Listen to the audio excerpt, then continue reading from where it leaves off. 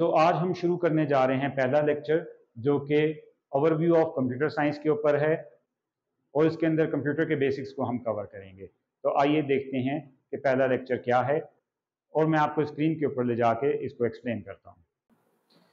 Chapter one overview of computer system अभी हम start कर रहे हैं इसको कि चैप्टर वन को कि इसके अंदर पूरा एक ओवरव्यू दिया हुआ है कंप्यूटर सिस्टम का। सो so, हम देखते हैं कि इसके अंदर क्या क्या ऑप्शन हैं हमारे पास। लेक्चर वन हम स्टार्ट करेंगे। सबसे पहले हम इसको देखेंगे कि हमारे पास यूनिट का इंट्रोडक्शन है कि इस यूनिट में क्या क्या टॉपिक्स हमने कवर करने हैं। उसमें से पहला टॉपिक है इंट्रोडक्शन टू कंप्यूटर्स और उसके बाद दूसरा टॉपिक है computing devices so let's check सबसे पहले इंट्रोडक्शन देख लेते हैं कि इस चैप्टर में क्या हमारे पास टॉपिक्स आ रहे हैं। कंप्यूटर सिस्टम के बारे में हम इसके अंदर पढ़ेंगे कि कंप्यूटर सिस्टम क्योंकि आजकल वो एक कॉमन प्लेस लाइक के हम अपनी ज़िंदगी में तकरीबन हर जगह पे जहाँ पे भी हम जाते हैं वहाँ पे हमें कंप्यूटर सिस्टम नज़र आते हैं। लाइक अगर हम कहीं पे आ, बैंक में जाते हैं तो हमें वहाँ पे कंप्यूटर सिस्टम नज़र आएँगे। अगर हम जाते हैं किसी भी हॉस्पिटल के अंदर ठीक है तो वहाँ पे भी हमें कंप्यूटर सिस्टम नज़र आएँगे। इसी तरह अगर हम जाते हैं किसी भी कॉलेज के अंदर, किसी भी यूनिवर्सिटी के अंदर, वहाँ पे हमें कंप्यूटर सिस्टम नज़र आएँगे। इवन अगर हमने किसी यूनिवर्सिटी के लिए अप्लाई करना है तो अब सारा कंप्यूटराइज सिस्टम है। हम पहले घर बैठे उसकी रजिस्ट्रेशन कराएँगे, उसके बाद हम फर्दर एप्लीकेशन को प्रोसेस कराएँगे। सो कंप्यूटर सिस्टम हर जगह इस्तेमाल में है, हर जगह हमें मिलेंगे। अब फर्दर इस यूनिट के अंदर क्या चीज़ है कि जो बेसिक कंपोनेंट्स हैं कंप्यूटर के, वो कौन कौन से हैं? हम इसको कंप्यूटर को जनरली हम लोग कहते हैं कंप्यूटर सिस्टम तो कंप्यूटर और कंप्यूटर सिस्टम एक ही चीज़ के दो नाम हैं। कंप्यूटर सिस्टम फुल नेम है और कंप्यूटर हम इसको सिंपली एक सिंगल वर्ड के तौर पे कहते हैं। उसके बाद इसमें जो मेन टू पार्ट्स हैं कंप्यूटर सिस्टम के, उसके बारे में इस यूनिट के अंदर बताया जाएगा, जिसका पहला पोर्शन है हार्डवेयर के ऊपर और दूसरा पोर्शन है सॉफ्टवेयर के ऊपर। देन हार्डवेयर क्या है? हार्डवेयर सारी डिवाइसेस हैं, जो कि हम कहते हैं कि इसको these are the physical devices ठीक है? तो जो फ़िज़िकल डिवाइसेस हैं, वो सारा हार्डवेयर है। इसी तरह सॉफ्टवेयर क्या है? सॉफ्टवेयर एक्चुअल प्रोग्राम्स हैं जिनके मदद से कंप्यूटर चलता है, ठीक है? सो लेट स्टार्ट के इंट्रोडक्शन टू कंप्यूटर कंप्यूटर क्या चीज़ है? जनरली कहा जाता है कि कंप्यूटर एक इलेक्ट्रॉनिक डिवाइस है। लेकिन ज़्यादा बेहतर वर्ड जो इसके लिए यूज़ किया जाना चाहिए, जो कि आगे भी हम देखेंगे कि कंप्यूटर एक हमारे पास डिजिटल डिवाइस है, ठीक है? अब हम इसको क्यों एम्फिसाइज कर रहे हैं इलेक्ट्रॉनिक और डिजिटल के वर्ड के ऊपर या इलेक्ट्रॉनिक की बजाय डिजिटल का वर्ड यूज़ करना ज़्यादा बेहतर क्यों है? क्योंकि हमारे पास बहुत सारी डिवाइसेस हैं जो कि इलेक्ट्रॉनिक हैं, लेकिन वो डिजिटल नहीं है। लाइक हम डेली लाइफ के अंदर हम देखते हैं कि हम यूज़ करते हैं फ़ैन को, ठीक है? Fan is an electronic device but digital नहीं है। इसी तरह हम अगर अपने रूम में जहाँ बैठे हुए हैं, वहाँ पे देखें तो हमारे पास बल्ब्स हैं। These are electronic devices but ये डिजिटल नहीं है। सो डिजिटल के अंदर ऐसा क्या फैक्टर है जिसकी वजह से वो डिवाइस डिजिटल होगी? वो फैक्टर है कि इसके अंदर एक कंपोनेंट जिसको हम सीपीयू कहते हैं। इस सीपीयू के होने की वजह से ये जो डिवाइस है, ये डिजिटल होगी। फ़ैन के अंदर सीपीयू नहीं है बल्ब के अंदर सीपीयू नहीं है तो ये इलेक्ट्रॉनिक डिवाइसेस हैं डिजिटल नहीं है। अब हम देखते हैं कि वो कौन सी चीज़ें हैं, वो कौन से फैक्टर्स हैं, वो कौन सी करेक्टरिस्टिक्स हैं जो कि किसी भी कंप्यूटर के अंदर होंगी।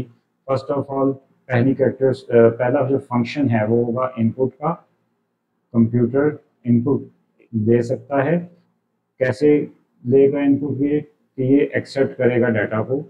Data as a input computer के अंदर लेके जाया जाएगा मुख्तलिफ़ इनपुट डिवाइसेस से। देन प्रोसेसिंग का इसके बाद प्रोसेसिंग का फ़ंक्शन है। प्रोसेसिंग का फ़ंक्शन क्या परफॉर्म करता है? वो सारे ऑपरेशन परफॉर्म करता है जो किसी भी डाटा के ऊपर होने चाहिए। प्लस उसको ये बहुत हाई स्पीड के अंदर परफॉर्म करता है।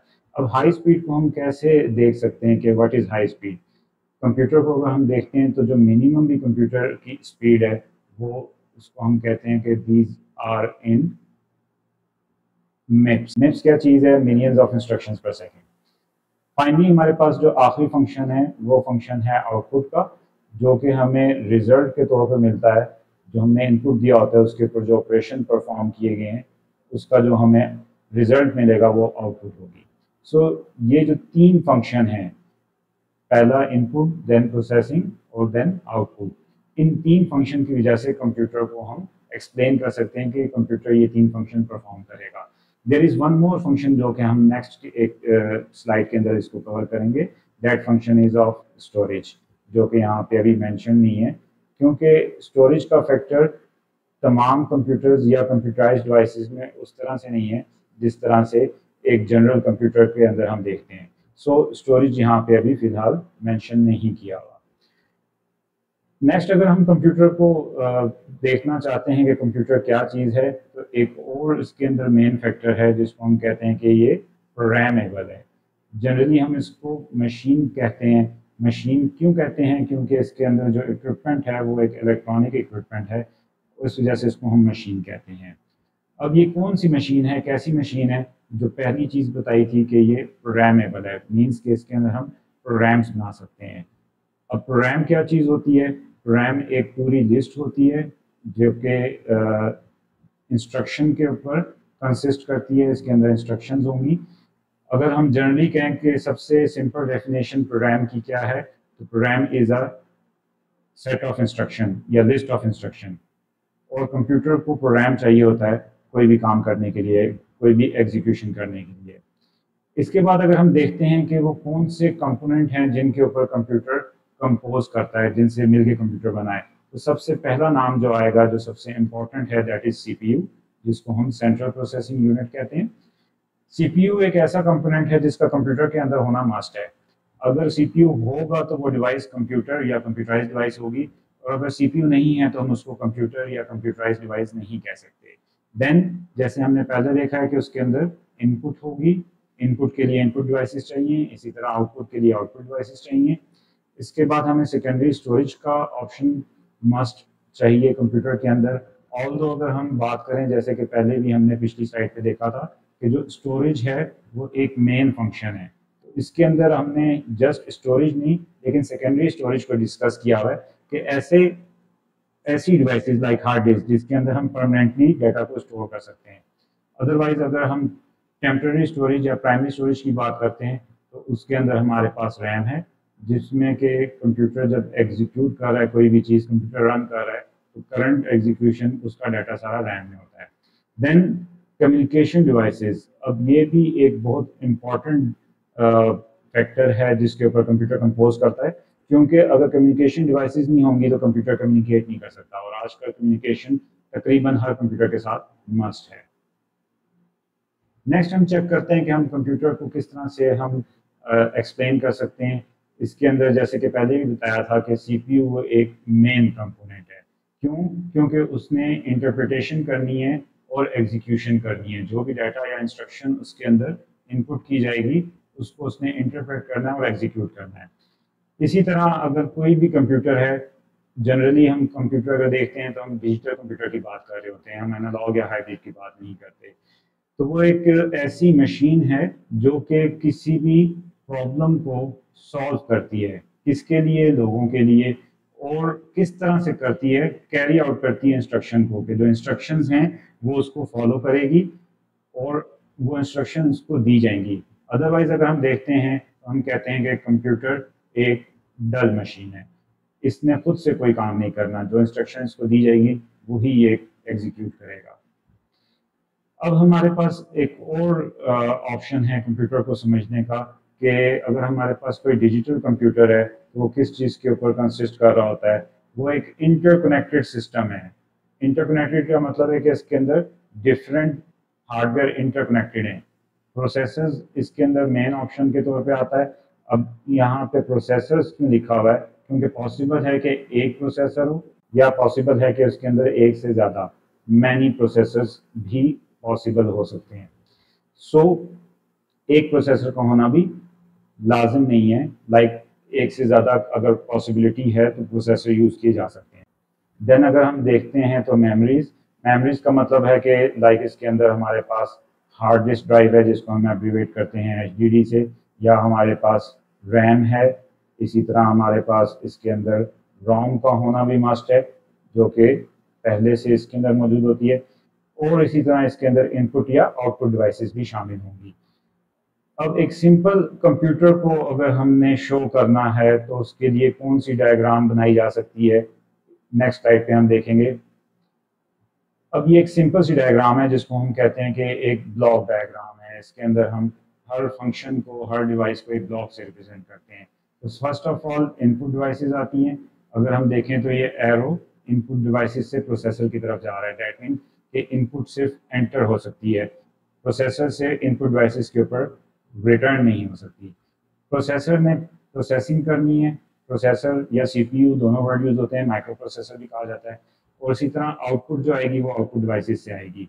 अब इसके साथ ये जो बैकिंग स्टोरेज है, जैसे कि हमने पहले भी देखा था कि स्टोरेज का वर्ड या सेकेंडरी स्टोरेज का वर्ड इसको बैकिंग स्टोरेज भी कहते हैं। अब यहाँ पे सीपीयू से बैकिंग स्टोरेज की तरफ़ डाटा आ भी सकता है और बैकिंग स्टोरेज से सीपीयू की तरफ़ जा भी सकता है। तो ये एक बहुत सिंपल सी डायग्राम है जो कि कंप्यूटर को एक्सप्लेन करती है। नेक्स्ट हमारे पास टॉपिक है कंप्यूटिंग डिवाइसेस का, कि कंप्यूटर तो हमने देख लिया क्या होता है कि कंप्यूटिंग डिवाइसेस को अब हम किस तरह से पहचानेंगे।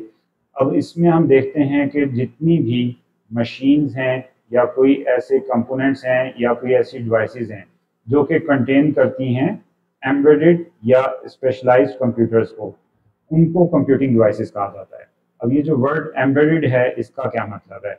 एम्बेडेड का मतलब है कि कोई भी ऐसी डिवाइस जिसके अंदर के आपके पास अवेलेबल होना चाहिए एक हार्डवेयर एंड उसके साथ साथ आपके पास अवेलेबल होना चाहिए उसका सॉफ्टवेयर अगर आपके पास कोई ऐसी डिवाइस है कि जिसका हार्डवेयर और सॉफ्टवेयर एक चिप के साथ अवेलेबल है तो उसको हम कंप्यूटिंग डिवाइस कहते हैं। अब इसकी कौन कौन सी एग्जांपल्स हैं? हमारे पास इसकी बहुत सारी एग्जांपल्स हैं। Let's check out ATM machine है, ये आप अगर देखें तो यहाँ पे डिफरेंट हमारे पास एटीएम मशीन की डायग्राम्स हैं। इनमें से कोई भी एटीएम मशीन एक कंप्यूटिंग डिवाइस के तौर पे यूज़ होती है। इसी तरह हमारे पास डिजिटल अलार्म अलार्म क्लॉक है। अब देखें यहाँ पे मुख्तु मॉडल्स आपको नज़र आ रहे हैं। देन हमारे पास डिजिटल वॉशिंग मशीन है। अगर वॉशिंग मशीन डिजिटल है तो वो भी एक कंप्यूटिंग डिवाइस है। देन हमारे पास माइक्रोवेव ओवन है। ये भी एक कंप्यूटिंग डिवाइस है। इसके बाद मुख्तफ टॉयज़ हैं, ये भी कंप्यूटिंग डिवाइसेस के अंदर आते हैं, अगर इनके अंदर सी पी यू है। सिमिलरली हमारे पास सेल फोन्स हैं, जो कि आजकल अगर हम देखते हैं तो ये टच स्क्रीन या हम इसको स्मार्टफ़ोन के तौर पे यूज़ करते हैं। सेल फ़ोन अब हमारे पास सिंपल सेल फ़ोन नहीं रह गया, अब ये हमारे पास एक स्मार्टफ़ोन है। तो जो भी स्मार्टफ़ोन है, उसके अंदर सी पी यू है, और मोस्टली इसके अंदर टच स्क्रीन है। सिमिलरली सी डी प्लेयर्स हैं, जिनके साथ सी पी यू यूज़ होता है।